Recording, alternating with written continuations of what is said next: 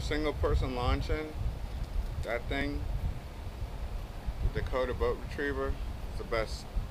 Basically, just take your lanyard, go hook it up, um, and it'll pull your boat back to the dock. And I'll show you real quick.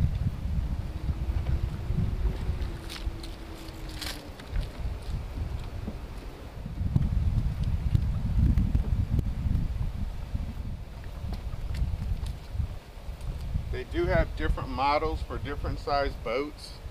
So, I mean, you go on the website. I think I got the medium to large just because I'm in the wind all the time and I wanted to make sure. So sometimes it pulls it kind of hard up against the um, the dock, but um, I think they have a, a large, a medium to small, and then a small for like kayaks.